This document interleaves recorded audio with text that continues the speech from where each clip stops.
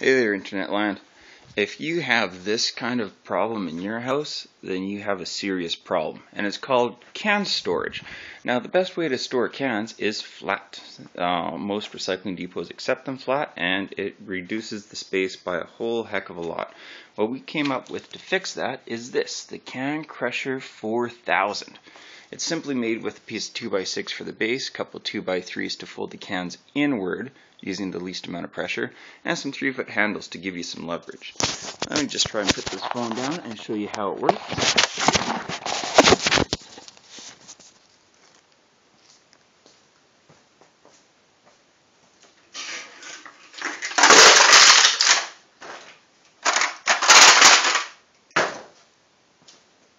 And just like that, the cans are crushed easily. Now, how do you build something this awesome?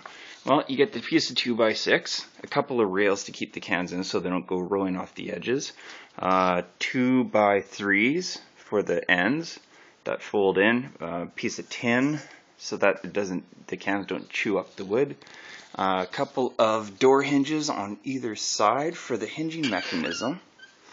And the nice thing is that when you close it, you actually have no gap in the middle, so it folds them right onto each other, making it real compact, just like that.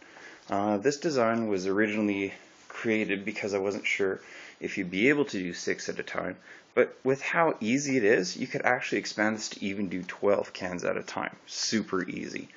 Uh, we use deck screws with some washers to fasten everything together uh, so that you get the maximum uh, maximum breakage point for this stuff because it is quite a bit of force even though you don't feel it um, the device feels it so. And we got some stoppers here so that these handles when you open them up don't go hitting you in the face just like that. And the nice thing is that once you crush the cans you can actually just lift this up and dump them in the bag so super easy and super nice. Hope you enjoy this and thank you for watching